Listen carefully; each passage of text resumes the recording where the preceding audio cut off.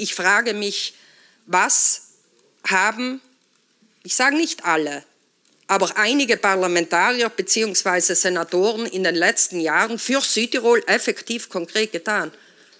Und ist es wirklich so, dass es undenkbar wäre und ausgeschlossen, dass würde ein anderer deutscher Südtiroler, der nicht der Volkspartei angehört, in Rom Politik machen, gegen Südtirol arbeiten würde oder gegen die Bevölkerung, gegen die Interessen des Landes arbeiten würde.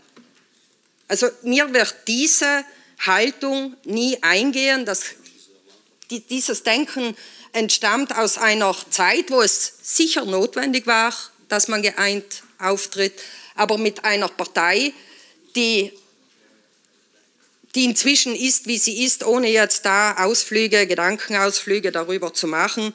Ich glaube nicht, dass diese Südtiroler Volkspartei noch immer den Anspruch für sich stellen kann, alleine der Ansprechpartner bzw. Vertretungspartner der Südtirolerinnen und Südtiroler aller drei Sprachgruppen meinetwegen auch zu sein, sondern dass es höchst an der Zeit ist, dass man sich gemeinsam